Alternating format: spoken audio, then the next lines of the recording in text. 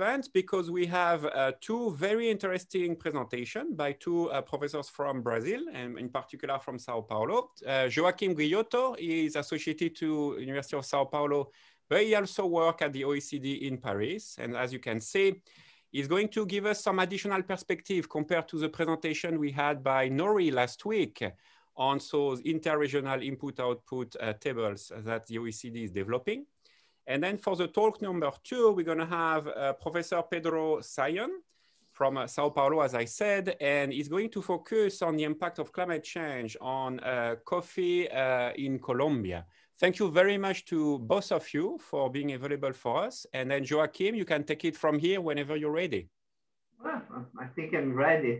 Very uh, good. First of, first of all, to, to, to thank you, Sandy, uh, uh, Edward, and the, all the, the people for, for, the invitation. It's always a pleasure to be at real, even if virtually. Uh, of course, I would like very much to be there at Illinois, but uh, anyway, uh, life sometimes is, has some things you have to live with. But anyway, now, uh, what I'm going to present today is, uh, is uh, complement the, the presentation did by, by Nori uh, some weeks ago, a couple of weeks ago. So actually, I'm going to, to give you more uh, overview of the work we do at the OECD in terms of destination of the global input output databases, the intercountry input output, input output databases and the indicators we have now in place, the trade value added, the, the CO2 emissions in foreign trade and the um, trade employment and also some other indicators we are working with. And um, I'll talk about the release you are going to do this year with a new updating the database. So you can have an idea of the, the kind of data we have at OECD that might be of interest for your work in, in, in terms of uh, regional economics and environmental uh, questions. Um, okay.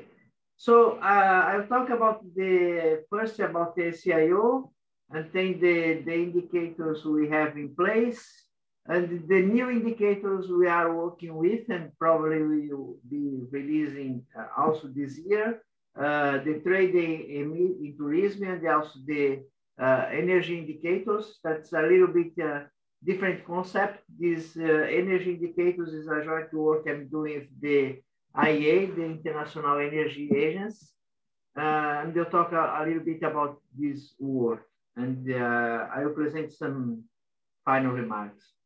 So this year we're going to release soon, about maybe in the next two months, uh, the next version of the intercountry output tables uh, that has some spe specific characteristics and um, more up to date and more industries and more countries. So this 2021 release uh, will be covering 67 economies, actually six, six countries and the rest of the world. Uh, we are increasing the detail of industries we release from 36 to 45. And you are now uh, back uh, because the last release we had from 2005 2015 and now we are coming going back to 1905 until 2018 uh, maybe this going back to 95 uh, would be for every year from 95 to 20, 2005 at the first moment but uh, we see what it's possible to do uh, but the, the, the idea is to have the whole annual series from 95 until 2018 for all these economies and industries. And the ICIO itself, it has a, a very good characteristic that some of the other international databases don't have. Uh, actually, we always benchmark the our data with the latest official annual national accounts statistics. So actually, we uh, have a good address to, to, the national statistics of the countries. Uh, we have make, make distinction between cross-border trade and direct pushage by non-residents. So actually, uh, uh, we have estimations to what the people from one country buys in another country, and this is important uh, not only for the effect of the estimation of the matrix itself, but it actually allows for measures in terms of the tourism, not really tourism, because actually some of the the the um, the pushage is not tourism, but actually the uh, to see what people buy abroad. And actually, uh, if you are going to, to make estimations for uh, uh CO2 emissions or even energy from the side of the uh, consumption side or production side uh, indicators, that really makes some difference in the estimation. And another characteristic we have that you have a, a heterogeneity for China and Mexico. So for China and Mexico, we split the, the China and Mexico tables in, let's say, two Chinas and two Mexicos. Uh, the one China that uh, have the industries for uh, processing trading, and the other China that the, the industry is more focused on the national uh, production. Of course, the national production can also export, the same for, for, for Mexico. But this is important when you are going to measure indicators of uh, trade in value added and indicators of CO2 or uh, employment in trade, because actually uh, when you process for trade, the, the share of inputs and value added are different uh, from the process industries than the export industries and the also the level of employment and technology use is different. So uh, we do that to work that actually uh, makes better estimation of trade, mainly for China, that's very important in international trade. And in case of Mexico is very important for the trade with the USA. Now, this is the list of countries uh, that uh, we are uh, going to, to release pretty soon. Um, uh, we have the 37 uh, OECD countries, that's the ones in yellow. And you also have the, the other countries uh, in, in, our database. The new, we have two new countries, Myanmar and Laos, um, the, this new version. And the, the next version will probably have some more, uh, probably for next year the idea is to have like updates uh, regularly. Uh, the last one was 2018, and this one is supposed to, to be last year, but given the COVID and all the circumstances, is going to, to be this year. Um, so, uh, of course, with the countries who we have, we can, can group them the the, the, the regions like the European Union, the Southeast Eastern Asia, OECD, non-OECD, APEC, the G20. So all these uh, regions, we have details in the indicators. So uh, you can make aggregating of the results as much as you like. Uh, for these 66 in, uh, economies, we, we have explicit data. Uh, the GDP of this, uh, the added GDP of these economies is 93% of the world, the exports 92 and the imports 9%. It means that the rest of the world is the remaining uh, of the um, of the shares you know, of these economies. Okay, I just speak about the China, Mexico. Uh, the industries uh, coverage, that's the, the new one we are going to release. The previous one was the 36 industries.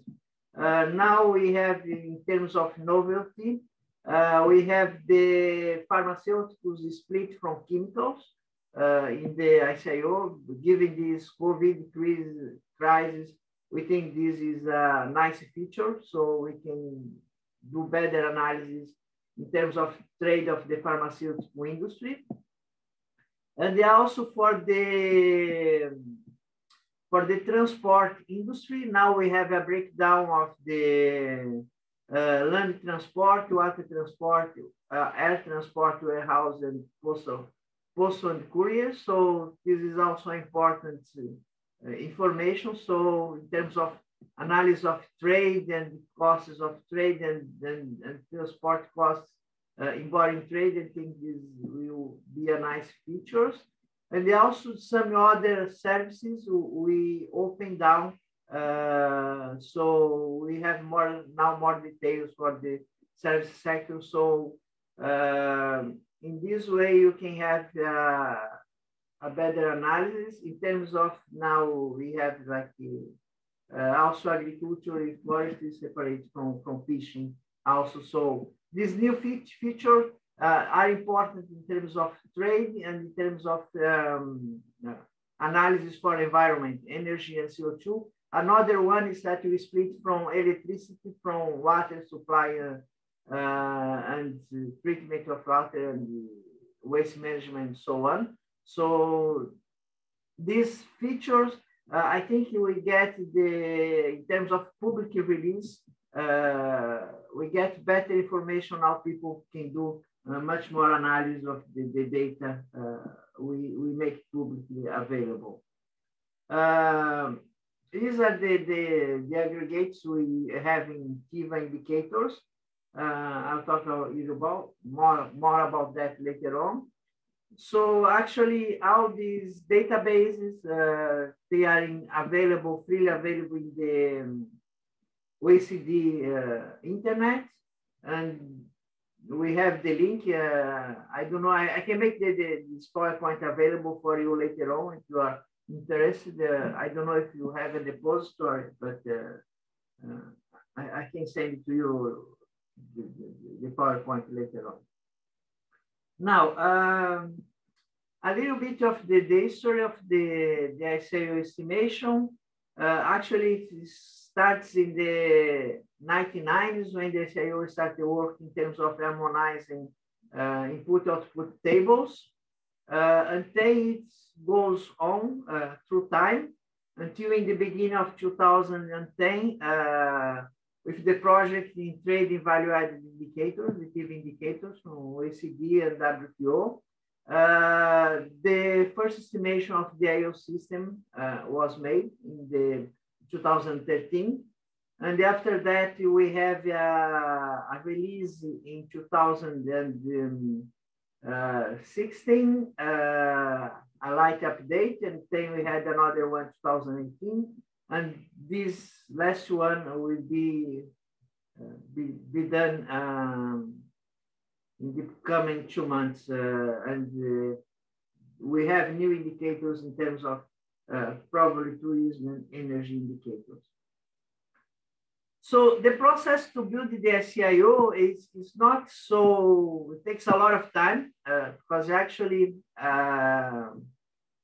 internally, uh, the, the public release of ICIO uh, we made for, we are going to make now for 67 uh, economies and split of and China and 45 industries. But actually internally, uh, we, we work with a bigger system uh, for 75 industries, 75 commodities. So actually we, we estimate uh, supply and use tables before we go to the uh, input output tables. So actually we start with the SNA constraints, just a, a brief overview of the estimation procedure we start with the SNA constraints. Uh, then we estimate uh, output and value added for industry, uh, output value added for industry and output for industry and product at the level of 75 uh, commodities, 75 industries, and, and um, uh, from different sources of data, national uh, statistics, international organizations, and of course some estimations. Uh, of course, you don't have this level of information uh, for our industries, for our countries. So we, are, we need also to do some estimation, some interpolation to get that. Uh, the same thing for exports, imports, re-exports and re-imports. So we need to, to, make a balance of the trading in the world. And for the one work trade, you know, that's not easy. And this, uh, work with exports and imports, this balance is mainly done by, by Nori. does a wonderful job on that. It's, it's not easy to put everything together. Uh, then we do estimations on the final expenditure components, the final demand, the household, uh, government, investment, and so on. So actually, there is a conversation between the exports and imports and the output because actually uh, the exports needs to be less than the output you do.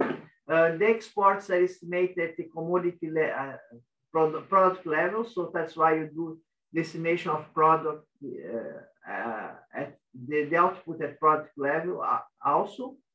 So from the this block of informations, uh, we estimate the use tables. Actually, uh, we use also use tables from the countries, the international organizations, and also uh, we have to fill the gaps and estimate for countries who don't have this table. So it's a huge work that is done on, on this part.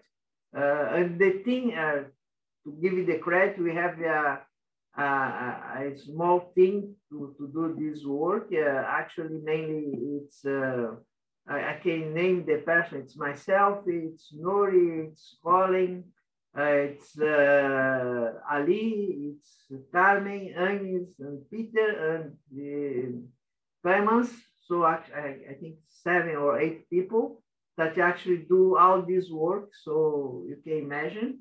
Uh, after the export part, we have the bilateral trade. So we have the supply and the uh, use table at pushage and basic price. You have the margin estimation for margins.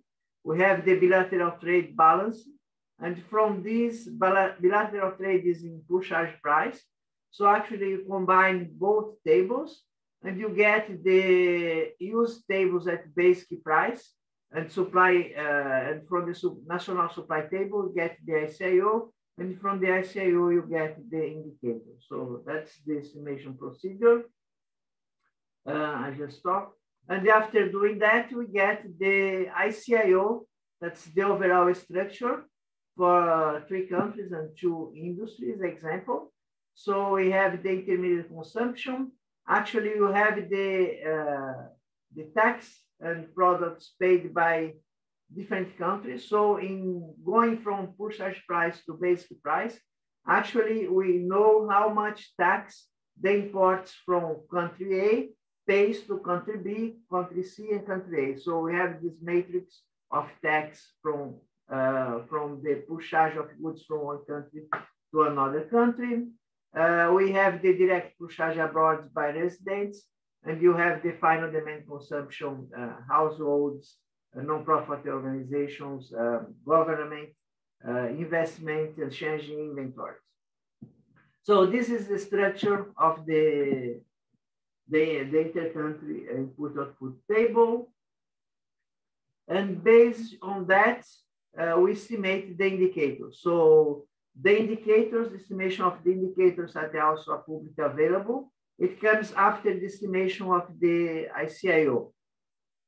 Um, so the first set of indicators are the, are the trading value indicators that uh, are widely used to, to see, uh, to measure the, uh, actually what's the component of the value added embodied in different uh, goods and services traded in, in the world. So actually, uh, this was a concept developed by the OECD and, and WTO.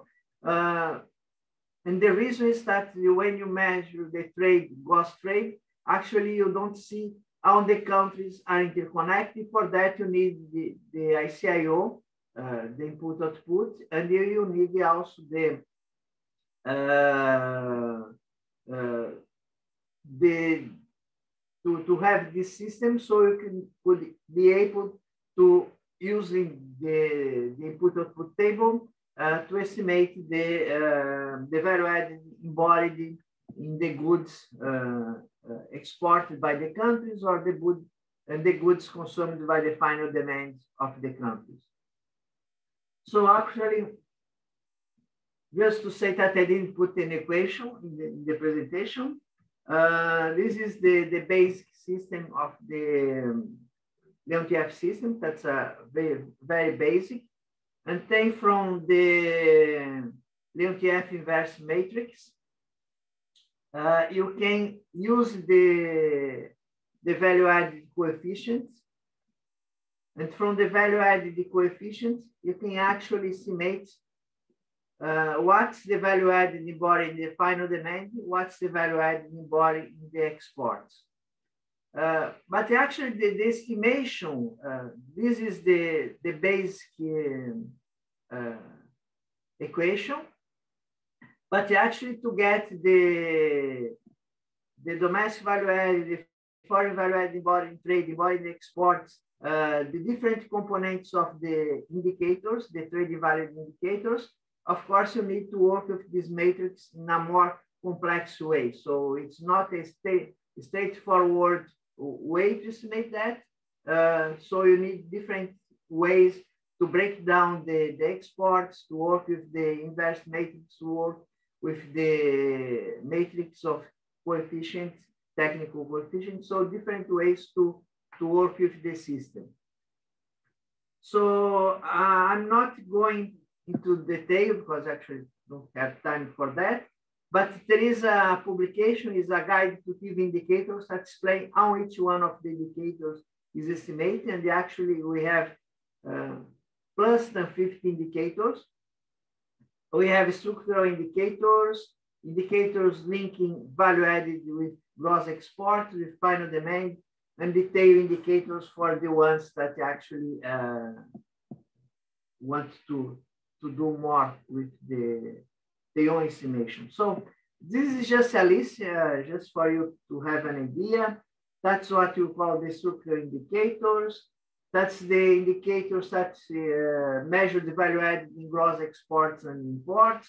And actually here, there is also a, a, a problem of double counting, just as a caveat for you to know, and not to want to discuss, discuss here. And the final demand indicators, of course, uh, by construction, they don't have double count. So these are the most uh, complex indicators that have. Uh, so the previous indicators, we have three dimensions. Actually, if you input output analysis, you can get to eight dimensions. And actually we reduce these dimensions to three dimensions for the basic indicators and to four dimensions to the detail indicators. Uh, so actually, once again, um, just to give you an overview, uh, maybe sometime we can get a special session uh, on, on, decimation of indicators and interpretation.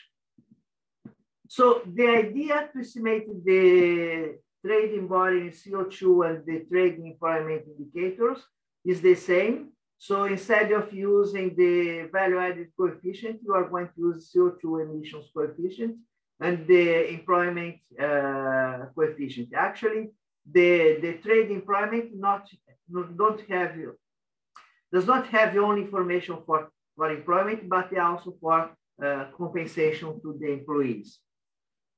Uh, the point is that uh, it seems simple, but as you saw last time, I mean, for you to estimate the CO2 coefficients and the employment coefficients, there is a, another huge work to do that. So, uh, and part of the work, no represent, uh, last time when you spoke about the CO2 uh, indicators, the TeCO2 uh, indicators. So, so some, some results. So we are uh, pretty uh, much uh, close uh, of the time, not of the presentation, but I will speed up.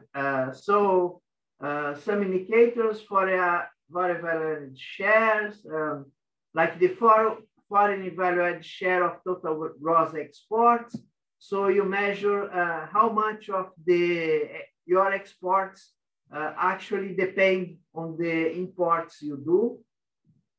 Uh, that's the domestic value added in foreign export. So how much of the your you you take part in the global value chains by selling inputs to the other countries to, to export. So actually some countries like the Saudi Arabia, because they produce like oil is the, the main produce, actually they, they produce and the, they, the oil end up in the exports of the other countries because it's used as an intermediate good to produce the other uh, exports. So uh, you can see how countries are really uh, integrating the global value chains.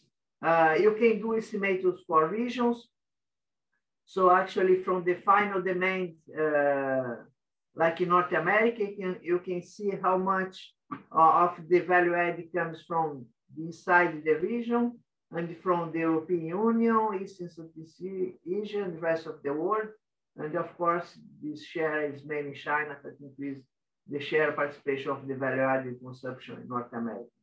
And you can have that for the, the intra-regional, because the, this is inter-regional, and the, inside the East and Southeast Asia, you can see the increased importance of China from 2005 to 2015. So this is in, in West, uh, billion West dollars. And you can break down the, the value added in domestic demand for, for industry, like for computers. And you can see what's the source of the, the value added uh, from the different regions uh, in, in, the, um, in the world, okay? Like for South, Saudi Arabia, uh, what's the value added from uh, European Union, North America, China, and so, and so on. This is a nice indicator because actually it shows how much of the, um, the imports of electronics machinery transport money. So how much of the imports the US does came from, from Mexico, comes from the USA, uh, from Canada, so. Actually, it shows the imports you do from other country, uh, how much value added comes from the different countries in the world. Um, okay. Um, the other indicator is the trade in, in, employment that actually the same way shows how much of the the, the, the business sector actually because actually the, the export of services is not so so big. The, the most part of the exports are goods. But actually, when you export goods, there is indirect service involved in the exports of goods.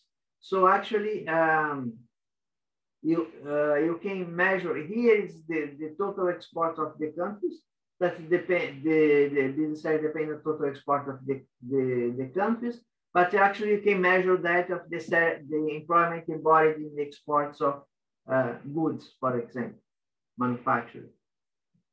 Uh, the CO2 emissions, no we talked last time. So you can actually have uh, measure uh, how much emission from the consumption side and the production side. So you can see in these charts uh, that that's the, um, the um, developing countries. So actually they export, uh, this is the, the, the, the production of CO2. So they produce more than they consume, they export, and this is the um, OECD countries. So actually the OECD countries, they consume more uh, than they produce, so they are net imports of CO2 emissions. Now, uh, just to almost there, these new indicators that uh, we are working on it. So this is the trade in tourism that actually, uh, as I mentioned before, uh, cross-border uh, measure pushage by uh, non-residents, and you can see like for the like for, for a country like Greece, about 25% of the value added of, of the exports uh, are associated pushage by non-residents. So it's an indicator of countries that actually are more dependent on the tourism for exports uh, of their goods and services. So just, uh, just to, to finish, uh, this is a project being going on with the uh, International Energy Agency that actually is to bring to, to, to build a hybrid system, uh, taking consideration the ICIO and the flows of energy around the world. So actually it goes in different stages of work. The first stage is, is the estimation of energy physical supply tables based on the energy balance. It means taking the energy, the, the energy balance and making supply and use table.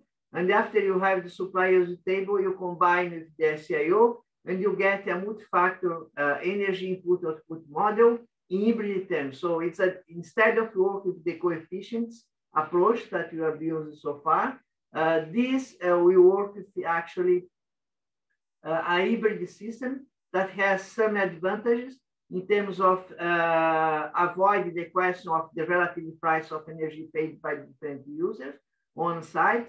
And the other side, when you have a physical uh, SUTs energy, you can actually measure how much energy is produced by uh, energy. So it's an additional, uh, so actually uh, uh, it's just this hybrid system that actually will provide some energy indicators.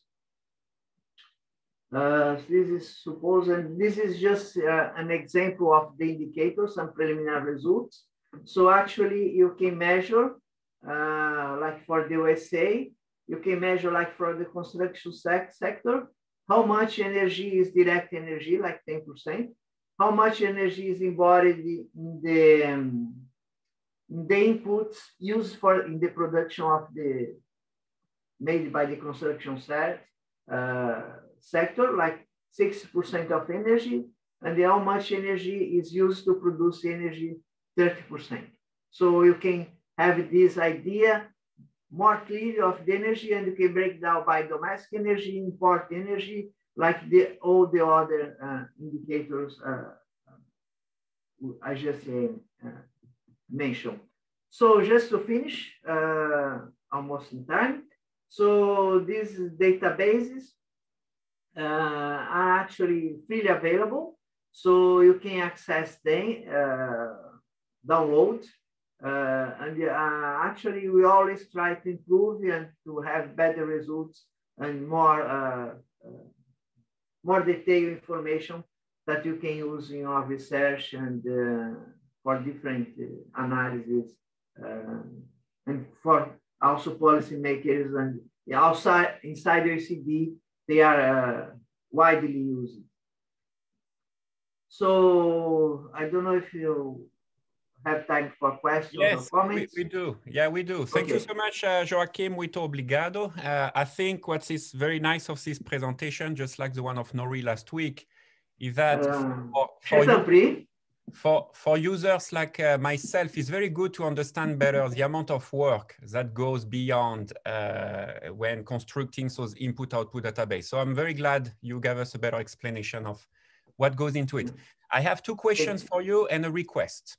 So yes. my, fir my first question for you is could you be uh, a bit clearer with respect to what differentiate the OECD IRIO system compared to other existing IRIO out there, uh, WIOD, EORA, ExioBase?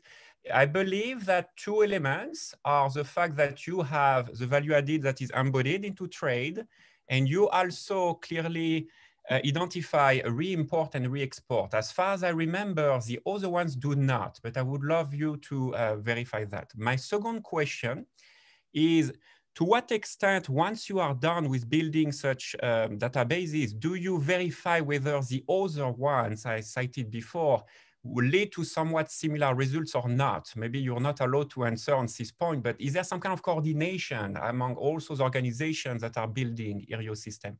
And then my request is, uh, well, because I like to work very much on the impact of climate change is definitely a question that's uh, that is uh, becoming more and more important. Uh, is there any chance that we look at other environmental accounts, say water use, eventually other gases beyond CO2? And is it possible at all to consider breaking down agriculture across the different crops? Because the effect of climate change on each crop varies actually. Uh, so is it, anyway, so that my, my feedback, uh, Joachim. What do you think? Okay, uh, let's try briefly explain uh, to you.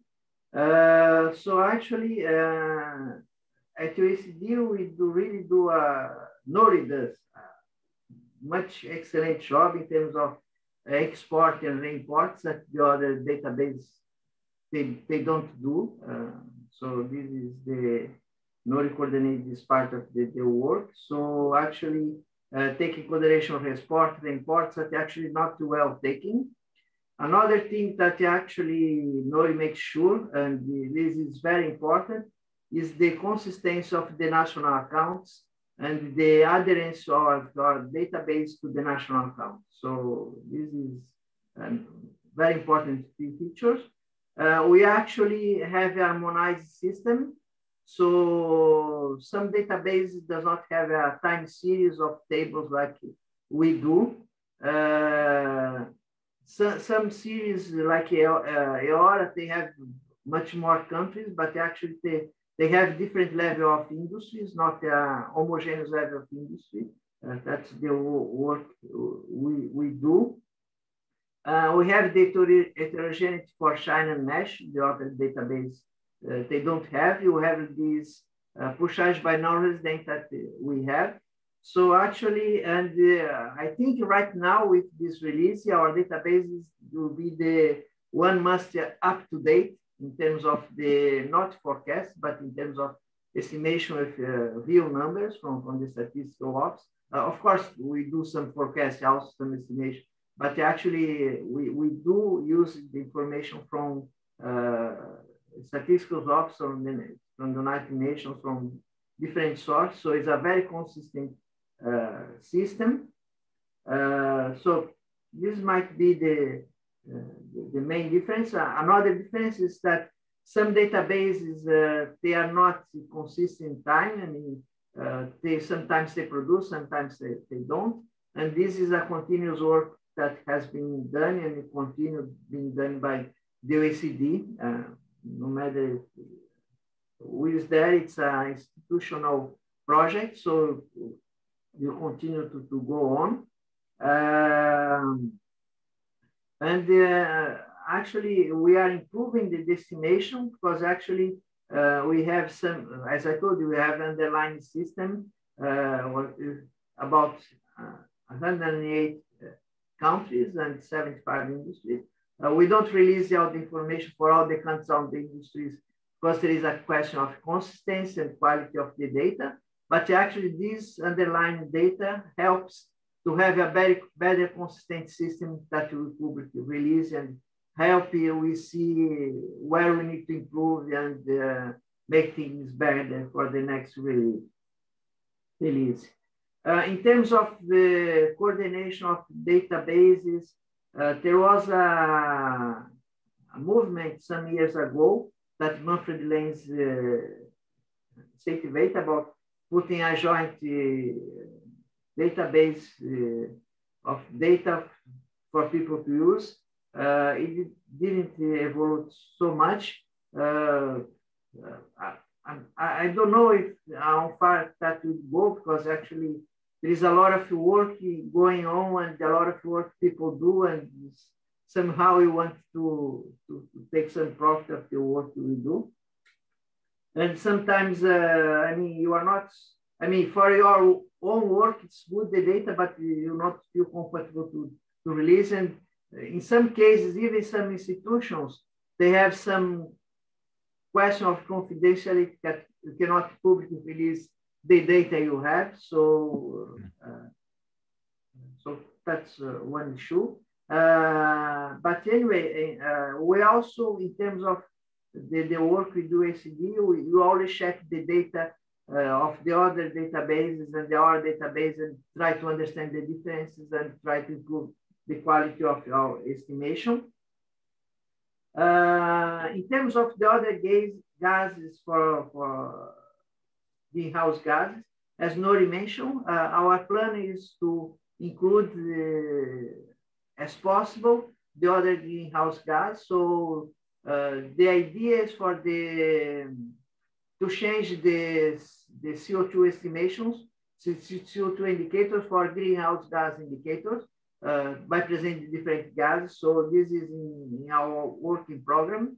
Uh, we see how much we can include uh each time. You know, I mean, probably won't be possible to, to include everything at once, but uh, little by little be including the all the greenhouse gases.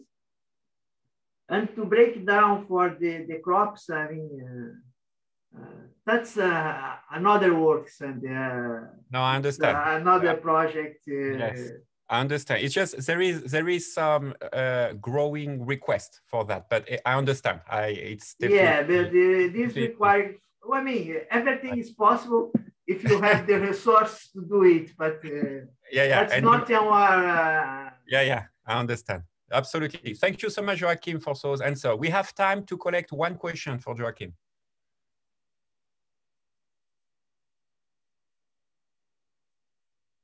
Well, if not, then Joachim, thank you. Ask so them the questions.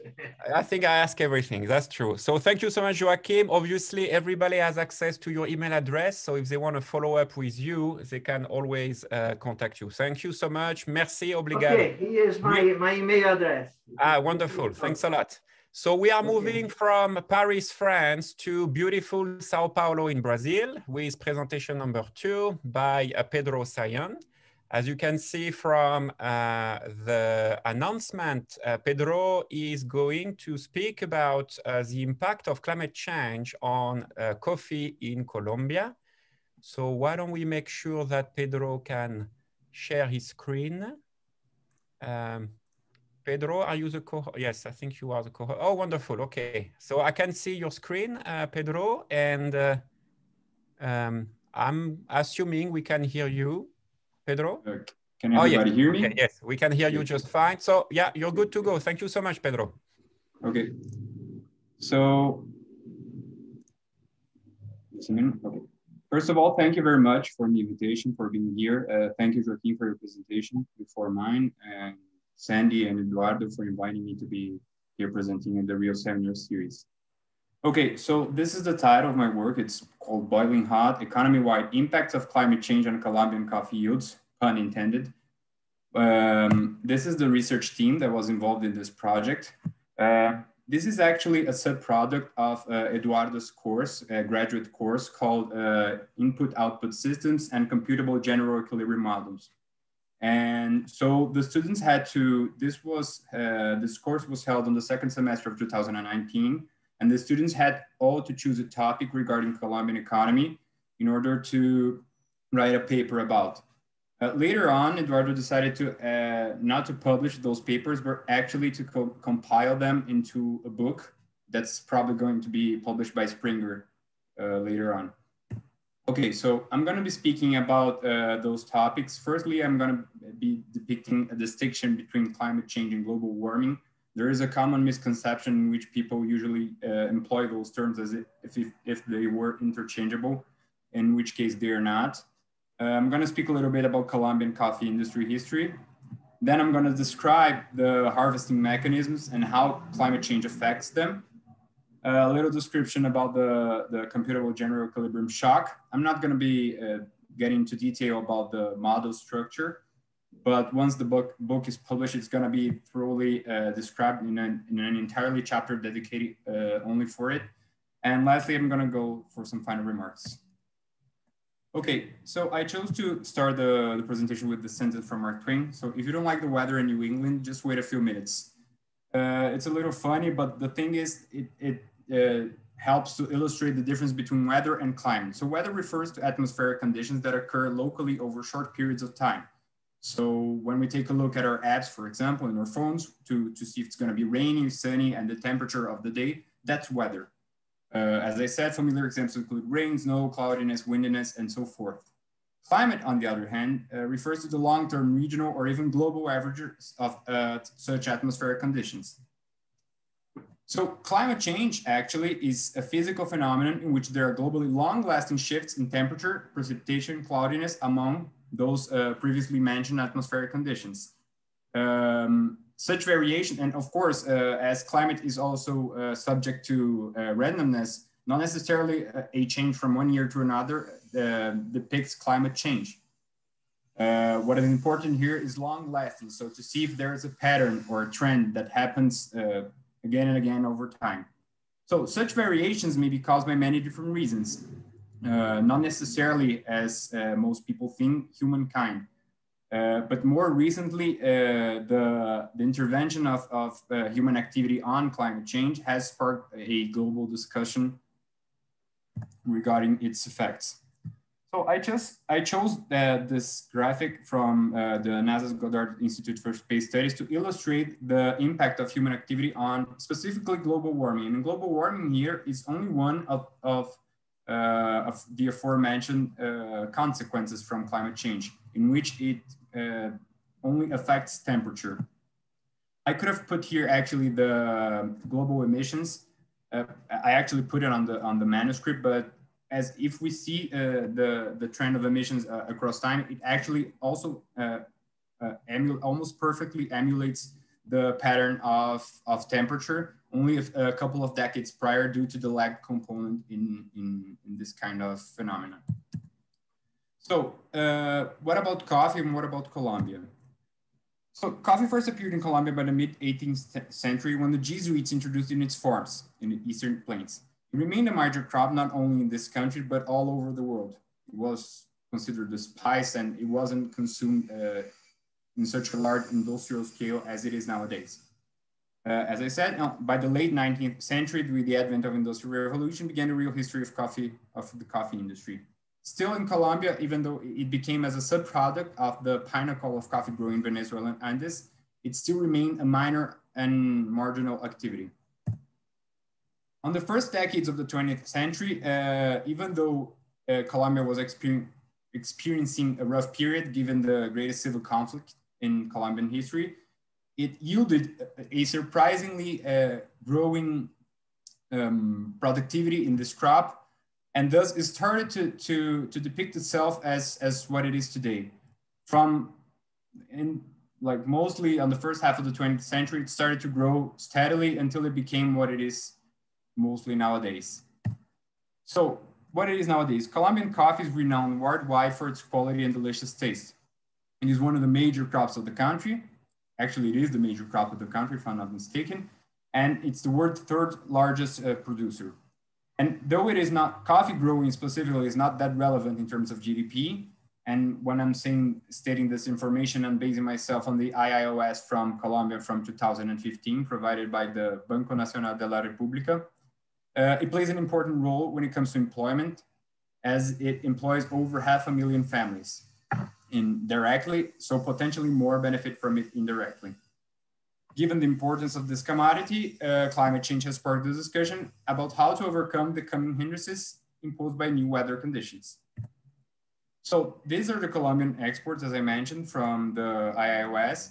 As we can see in 2015, uh, coffee was the fifth most exported product and the first amongst uh, agricultural projects uh, when it comes to value. So these are the destinations of Colombian coffee. As we can see, uh, mostly it's mostly imported by uh, developed countries so, such as the USA, Canada, Western Europe, Japan, and Australia. And these are also the, the oh, I forgot to mention, this is also 2015.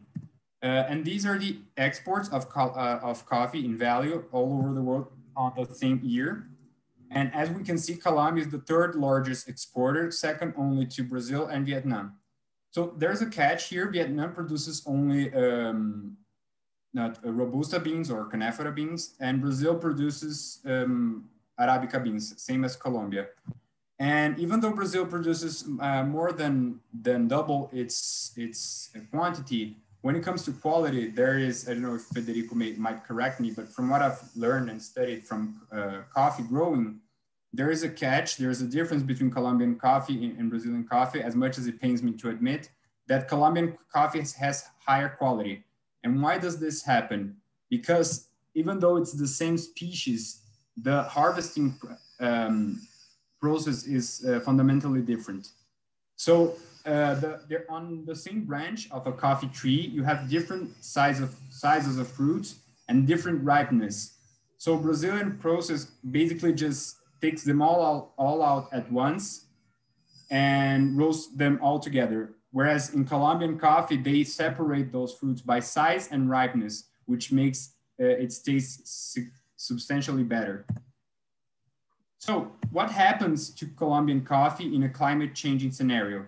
I chose this picture from the Climate Institute because it's, it's thematic that uh, illustrates what happens to and what are the many different channels with which uh, climate affects uh, coffee productivity. So first, there are increased droughts and a more, more frequent, um, I'm gonna say intensive um, climate phenomenon, as well as uh, advancing pests that stress the plant. Also, there is risk of deforestation that so that will oblige um, coffee as, as well as other crops to migrate from the regions that they are being, being planted today. So as I said, rising temperature damage beans, increasing drought cut yields, and advancing pests uh, stress the plant. So these are the those RCP, those represented concentration pathways from the IPCC uh, scenarios for, for emissions in each one of them, even in dramatic emissions cut, we see that uh, coffee land, specifically for Arabica beans, which are Colombian beans, uh, will experience a sharp decrease in farm, farmable land. This is, uh, this uh, actually, this paper is cited uh, by Federico also on his manuscript. Um, he depicts a general idea of what happens in coffee worldwide uh, when it comes to climate change. And so this is a, a picture that shows uh, the regions in which uh, Canephora beans and Arabica beans are being planted. As we can see, I don't know if you guys can see my mouse here, Colombia is entirely Arabica beans. Um, usually Robusta beans are usually planted here on Western Africa and mostly on, on, on Asia. That famous coffee from Indonesia, Kopi Luwak, it's actually a, a Robusta bean. So this is what happens to this is what the suitability suitability suitability for for for growing for coffee growing, and as we can see, where here is the the Colombian region, and it's actually really really suitable for coffee. Not only again because of the the quality, but also because of the quantity that it yields. So this is what happens on scenario RCP six.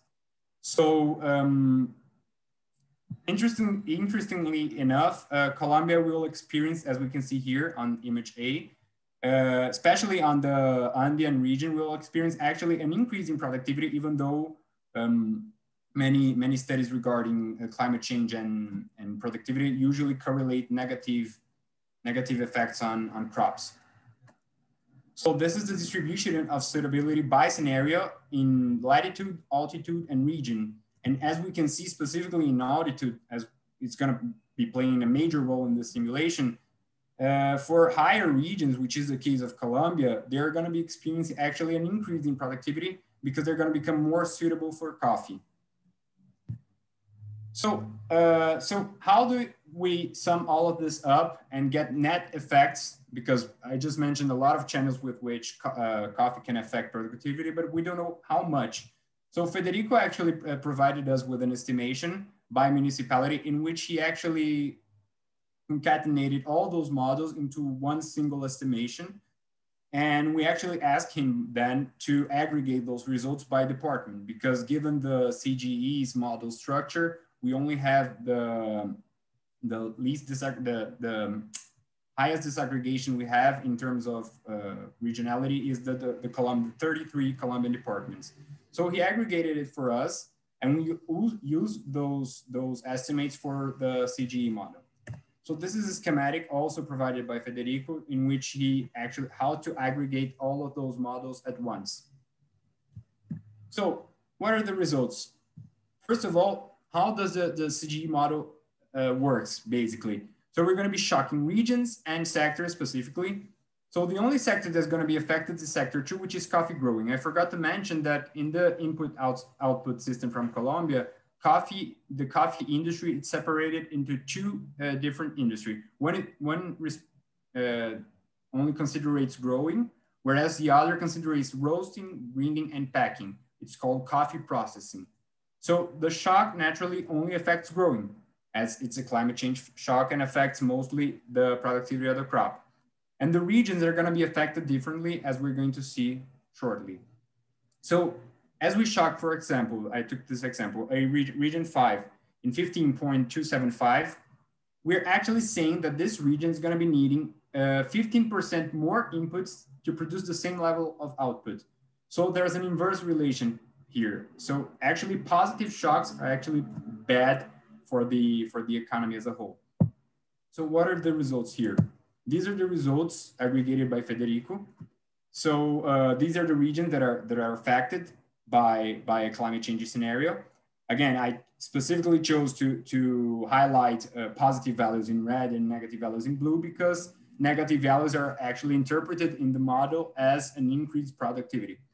So as we can see, it almost emulates the topology of the country.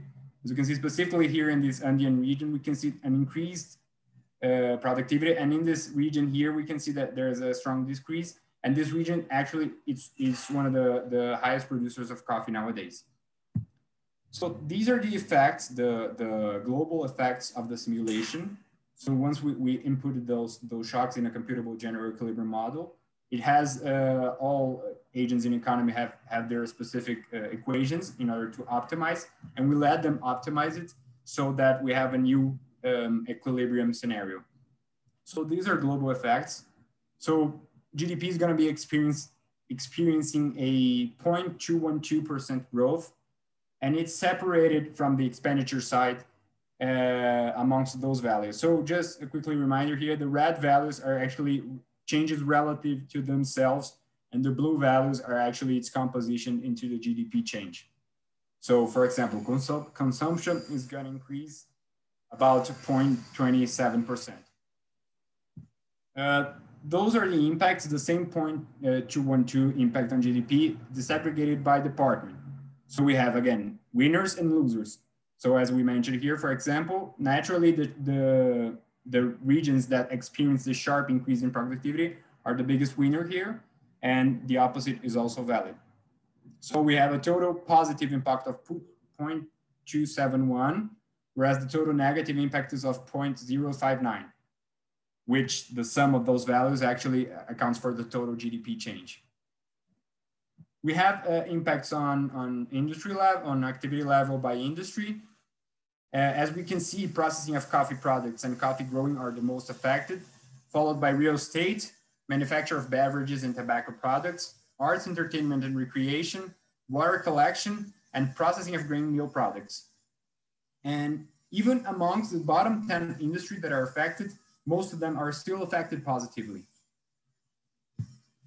So these are the changes in gross regional project, product uh, again, we see the same pattern here being emulated only with the with a less less strong with a less strong effect as we, we saw for the for the shock itself. So again, uh, Huila, Tolima, the Central District, and Cundinamarca are the ones that are most benefited by it. And Santander and Cauca and, and Risaralda and Quindío are, are the regions that are that are that are affected uh, negatively by it. So those are the impacts on factor mobility. So basically labor and capital. As we can see, capital, actually most uh, departments, except for a few, have an inflow of capital. Whereas in, in, in interregion migration, we have the, that same topology pattern repeating itself once more. So what are the conclusion here? Uh, it is important to know that though those macro results tend to be relatively small, which are consistent with uh, Federico's estimations, they're entirely heterogeneous between sectors and regions. Secondly, uh, coffee-related industries were the ones most affected by the shock, which is expected given this, the production structure of this commodity. And what I've mentioned already uh, throughout this presentation is that high plays a major role um, in this in this scenario, given that lower regions will become unsuitable for coffee, whereas the Andean regions will experience a sharp increase in productivity. Another thing that I forgot to mention here is that the model is only considering a change in, in in productivity for coffee, not all other crops. We're not taking into consideration, for example, the, the, the competition for lands that are gonna happen probably because of the of climate changing climate changing effects. So what are the next steps for this research? Firstly, we would like to introduce a more detailed analysis regarding difference between production quantity and quality. As I've already mentioned, uh, there is a strong quality component in coffee, in Colombian coffee. And we're not taking into consideration that maybe the coffee that's gonna be produced in higher regions has, a, uh, has less quality than coffee produced in, in lower regions. We're just taking into consideration total yields per hectare. S secondly, we would like to integrate stochastic model into, into the CGE to deal with uncertainties. Naturally, we're speaking about the future, and there's a lot of uncertainty uh, that comes with it. So we would like to use, for example, the standard deviations from, um, from Federico's estimation to, to input many different scenarios and gaps with which the, the results can vary. And finally, we can also input land as a specific primary factor, which is not also done in the model as we have. So this is it. I tried to rush a little thing in order not to get over my 20 minutes. I hope everything was clear. Yes, Pedro, thank you so much. Muito obrigado. Uh, very interesting work. Let me um, uh, say, uh, share a comment with you and then I have a question for you. So my comment is, um, I get the feeling that the IRIO system that you use here across those um, large entities in Colombia, if I remember well, it is based on volume. Uh, this is how I believe that IRIO system was set. It turned out that with uh, another PhD student here from Colombia in, in a department, uh, we've been able to um, make a cross correlation between the international price of a commodity as it is being exported from Colombia and the volume of each commodity that is going from location I to location J. So as a result, we have now a very fine database of uh, inter-municipality trade. It's not an IRIO system, it is just trade but it is still very fine. And I wonder if there is any interest to eventually combine that information with the IRIO system you have. So we need to carry on with that conversation. So it's more of a comment. Uh, my question is mostly on a point that uh, even with the work with Federico, we did not really have much chance to tackle, uh, which is what kind of adaptation strategies you think that uh, the uh, you know coffee producer might be the most inclined to use in the face of the changes in, in climate that you have highlighted? Okay, so actually, uh, I forgot to mention, thank you, uh, uh, Federico, for sending me, he sent me an email this week. I have a lot on my plate right now, but it's certainly on my radar to take a look into it. Because I'm using the manuscript he actually wrote on August 2019, and he actually sent me the, the updated version. I have to take a deeper look into it. But as, as I said, actually, the model is is just giving um, some strong insights about which regions and sectors are going to be impacted positively by it. So firstly, it would help a lot if we integrated the stochastic model. It is uh, on my and, and mine and Professor uh, uh, Eduardo's uh, radar to, to integrate the stochastic model into the, into the CGE because it's going to give us a, a, broader perspective as uh, what are the worst case scenarios, for example, for, for this simulation.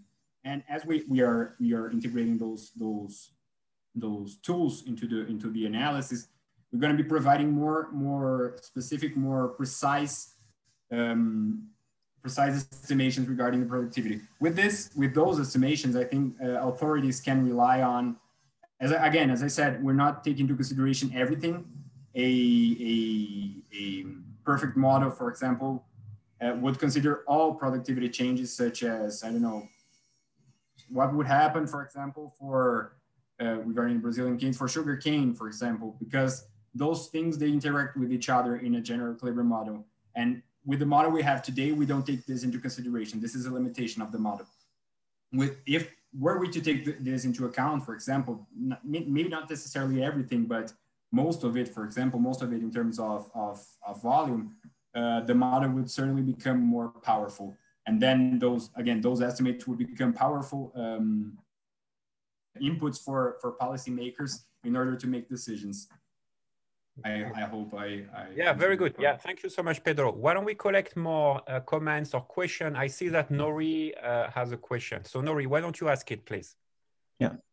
Um, thank you very much for the questions. Uh to give me the chance to ask questions. So my question is uh, i saw your chart on the export share and i see the high numbers of the eu and i assume those are the uh, kind of uh, uh, coffee bean pack, packaged coffee beans. Is that means those EU countries have a higher value added when they sell the export? And it's related to that uh, from the trade policy perspectives. If I understand correctly, the most countries import duty is high for packaged beans or roasted beans rather than the raw materials from Colombia, Brazil. Um, do you have such a uh, simulation mechanism in your global model to differentiate the intermediate and final products? I don't, but there's a thing that I forgot to mention now that you asked. Uh, Colombia doesn't export uh, in natura beans, differently from Brazil, that uh, Brazil exports uh, also in natura beans as, as well as processed beans. So for example, uh, we have a lot of countries, let, let me go back just a little bit. Uh, chart you asked. Here, so we have, for example, Germany exporting 7% of world trade value of coffee. And naturally, Germany doesn't plant a lot of coffee. So this is re-export naturally. So Germany imports coffee from places such as Brazil, roasts it, packages it, and then re-exports the same product. Colombia doesn't export in natural beans. So no other country is actually re-exporting Colombian beans. But I don't have, but we don't have this distinction in the model, within the model. I don't know if I made myself clear. Yep, thank you. Very good. Thank you so much. Uh, more questions, more comments yeah. for Pedro? Yeah, uh, Pedro, this is Jeff Hewings here. Uh, thank you for a nice presentation. Um, I don't know whether you're going to continue with this work, but it occurred to me that uh, one of the most interesting aspects that you highlighted was one, the heterogeneity across space, and also the, uh, uh, the degree of dependence of uh, a huge segment of the population, about 1 million families, if I recall.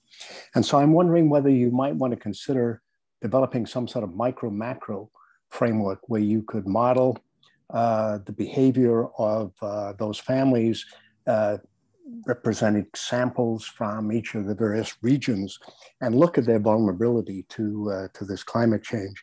And this then would uh, enable you perhaps to elaborate a little bit more on the uh, labor market possibilities because I think uh, most of these folks are, are, pretty well captive and do not have very many other alternatives. And uh, uh there is some precedent for this, some, some work by Laura Atuesta uh, developed such a mi micro macro model uh, looking at migration um, in, in, the, in the Colombian case. And I think that this would, um, I think, really enrich your, your work and as you think about future work, trying to get it published in major journals now, it's very hard to get CGE work published unless it has some innovation. So I'd be happy to talk to you some more about this. But thank you very much for a nice presentation. Well, firstly, thank you for your comment. Um, regarding the this micro, micro, micro, macro, micro analysis, I think it is very relevant for the work. Um, as, as I said, the CGE model takes into consideration um, net effects over uh, long periods of time. So it's not taken into consideration. So I used to have a professor that said capital is not exactly jelly. So actually we're not taking into consideration there is a strong intergenerational um, component here. People are not going to be migrating so easily. So yeah, certainly this kind of analysis would really enrich my, my work. Thank you very much. And I'd be happy to hear about the Laura you said, right? Yeah, Laura Atuesta. Well, Pedro, thank you so much for a wonderful presentation. Uh, Joaquin, uh, once again, thank you very much for your own presentation. I'm very thankful to both of you for finding some time for us. And we're going to leave it to that for today. And I hope to see all of you next week, ne uh, same time and same place. Thank you so much, everybody. See you you, Sandy. Bye-bye. Bye, everyone. Bye-bye. Bye, Jeff.